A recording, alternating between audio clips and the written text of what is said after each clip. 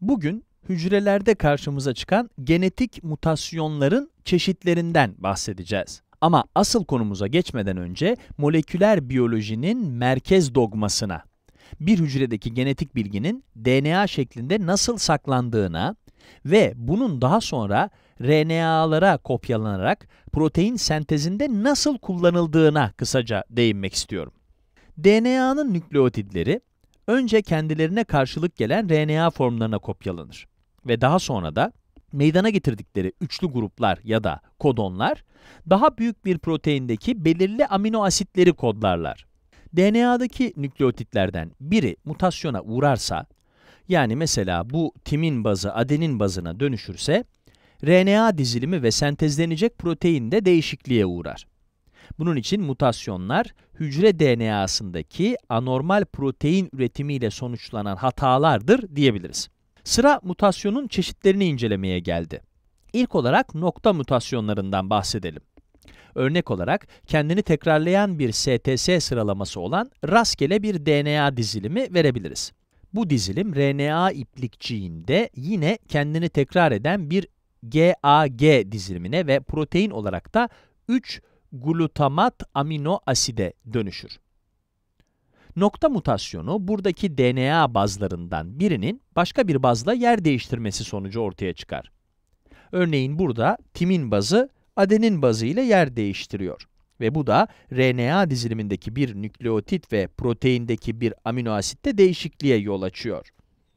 Türkçe'ye çerçeve kayması mutasyonu olarak çevrilebilecek ve İngilizce adı frame shift olan mutasyonların işleyişi ise aslında biraz farklıdır.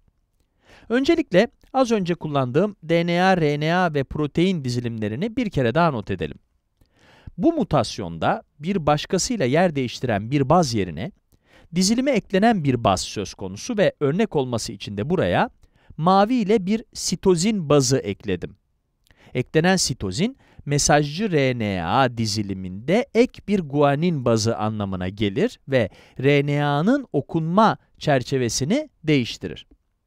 RNA'nın protein sentezi için üçlü gruplar ya da kodonlar olarak okunduğunu hatırlıyor olmalısınız.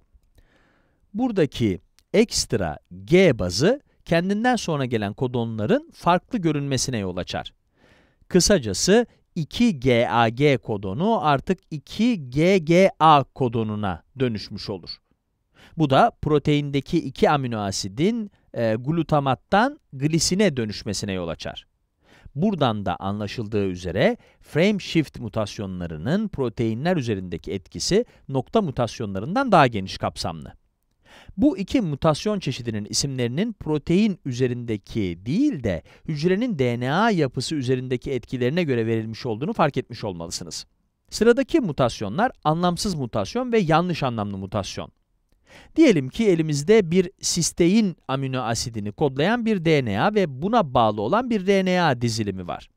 Anlamsız mutasyon, RNA diziliminin stop kodonuna dönüşmesine yol açarken, yanlış anlamlı mutasyonlar ise özellikle amino asitlerdeki değişime yol açan nokta mutasyonlardır. Mesela bu örneğimizde sistein amino asidi genetik mutasyon sonucu triptofan amino asidine dönüşüyor.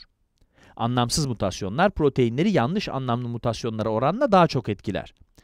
Burada ortaya çıkan stop kodonunun tek bir amino asitte değişim yaratmak yerine proteinin büyük bir kısmını kesip atabileceğine dikkatinizi çekmek istiyorum. Şimdi diğer bir DNA mutasyon çeşidi olan sessiz mutasyonlarla devam edelim.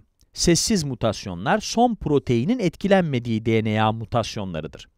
Farklı RNA kodonları aynı amino asitleri kodlayabildikleri için mutasyonun proteini etkilememe şansı vardır. Örneğin bu DNA dizilimindeki SSA, SSG, SST ve SSS bazları glisin amino asidini kodlar. Sizin de gördüğünüz gibi üçüncü bazı değiştirmenin son protein üzerinde bir etkisi yoktur. Konservatif mutasyonlarda yeni amino asit orijinaliyle aynı çeşittir. Mesela ikisi de asidik amino asitler olan glutamat ve aspartat örneğinde aspartatı glutamatla değiştiren bir mutasyon konservatif bir mutasyon olur.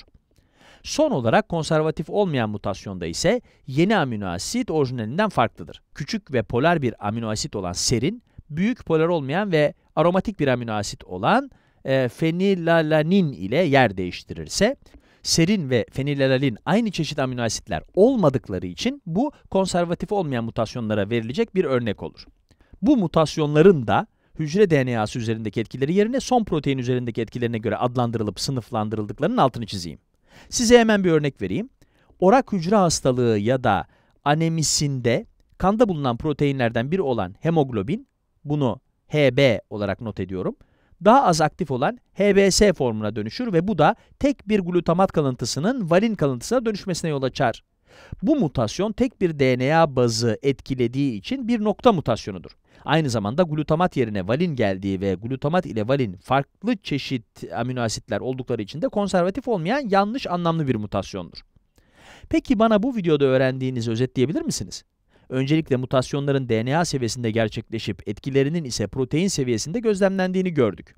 İkinci olarak mutasyonların DNA ya da protein üzerindeki etkilerine göre sınıflandırıldıklarını, DNA üzerinde etkili olanların nokta ve frame shift, proteinler üzerinde etkili olanların ise anlamsız ve yanlış anlamlı mutasyonlar olduklarını öğrendik. Umarım bu video size faydalı olmuştur.